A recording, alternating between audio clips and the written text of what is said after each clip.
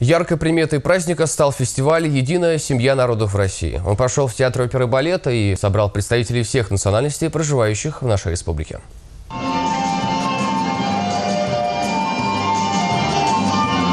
Единая семья народов России. Таким фестивалем Чуваши отметила День народного единства. В Театре оперы и балета встретились представители всех национальностей, которые проживают в нашей республике. Традиционные ремесла, народная кухня, национальные костюмы. Участники фестиваля увидели яркий, многообразный мир людей, для которых Чувашия стала вторым домом. Для всех национальностей Чувашской республики, вообще, по идее, в России, комфорт должно быть каждый день. А сегодня особый день, мы как бы сегодня констатируем, подтверждаем, что Чувашской республике все национальности живут комфортно, красиво, вольготно, от души. В первую очередь это нужно для того, чтобы объединить всех нас в одну целую единую семью.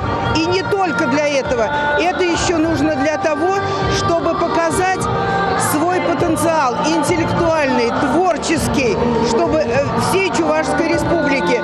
И еще хотелось бы сказать, чтобы вот эта энергия нашего фестиваля несла с собой добро,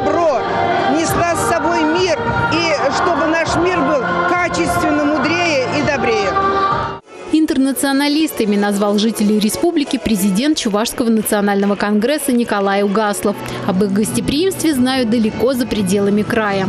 Чуваши, татары, русские, мордва, вот мы здесь, Азербайджане, э, евреи, армяне, вот сейчас встретились, все обнимаемся и э, каждый день же не видимся. И для нас встреча, этот праздник, на самом деле хороший праздник. Фестиваль – это не только встреча друзей, теплые слова, подарки. Это еще и серьезный разговор об этноконфессиональных отношениях в республике. Как развиваются национальные культуры, что способствует сохранению традиций и обычаев предков. Наконец, насколько тесно взаимодействуют разные конфессии. Ведь от ответов на эти вопросы, собственно, и зависит мирное сосуществование людей разных национальностей.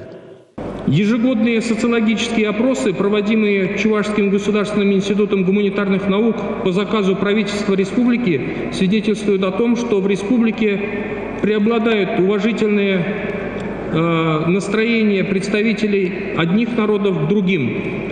Более 80% опрошенных положительно оценивают межнациональные отношения, что на 30% выше показателей в целом по Российской Федерации.